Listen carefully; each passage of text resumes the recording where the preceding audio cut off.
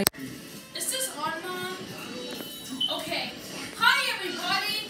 It's your boy Jeremiah, and today I'm gonna be doing 20 push-ups. And I'm doing 20 push-ups because I'm an athlete and I'm also athletic.